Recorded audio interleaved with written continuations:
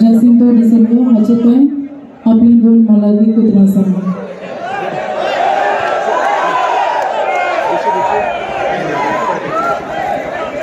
Bayrağı.